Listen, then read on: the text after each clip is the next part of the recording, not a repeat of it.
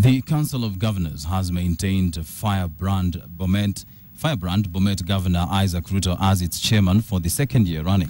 Ruto was elected unopposed as Nairobi Governor Evans Kidero dropped out of the vice chairmanship race, citing work pressure, and has been replaced by Kwale Governor Salim Mvurya. He is our senior political reporter, Samogina. Unanimously, governors have granted its top leadership another one-year term, save for the Council of Governors vice chairperson. Bomet Governor Isaac Ruto was re-elected and opposed. Kwale Governor Salim Mvurya replaces Nairobi Governor Dr. Evans Kidero as governor's vice chair, while Bungoma Governor Ken Lusaka retained his position as secretary.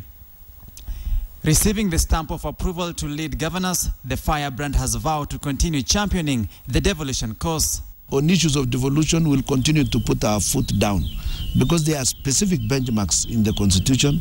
There are specific benchmarks which Kenyans believed in when they were agitating for the new constitution. And history has given us the opportunity to implement devolution. We will not let down Kenyans. We will continue to, uh, to strengthen devolution, to implement devolution in the counties, and we'll also continue to monitor and check you know, the threats to devolution and, and raise issues as, as need arises. Despite retaining status quo, Nairobi governor lost his position as vice chairperson. The Kwale governor sponsored by Code as was Kidero toppled Kidero for the position. No one proposed Kidero to maintain his vice chair seat. Kisumu Governor Jackson Ranguma instead proposed the Kwale governor as the replacement for Kidero.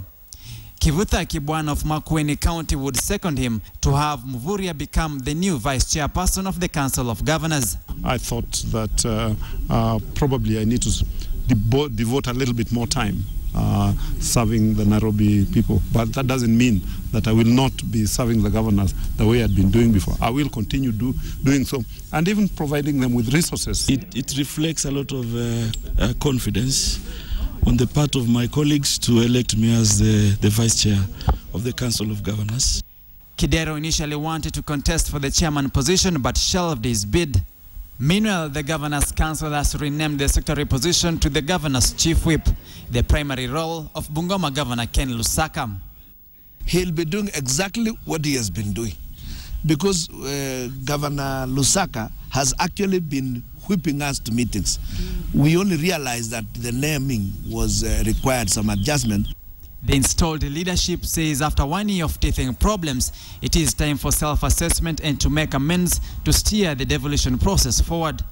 Coming on the backdrop of intensified impeachment onslaughts against governors, the county chiefs are optimistic about diffusing the mounting tensions. We hope to improve on what we ourselves may not have done extremely well. We'll look at our successes. We'll do our own self-critique. And, uh, but we want to assure you that we will move forward. Our business is not to fight with anyone. The governors meet women MCAs on Friday to chat county governors matters and try to diffuse the frosty relations that threatens the counties. Samugina KTN.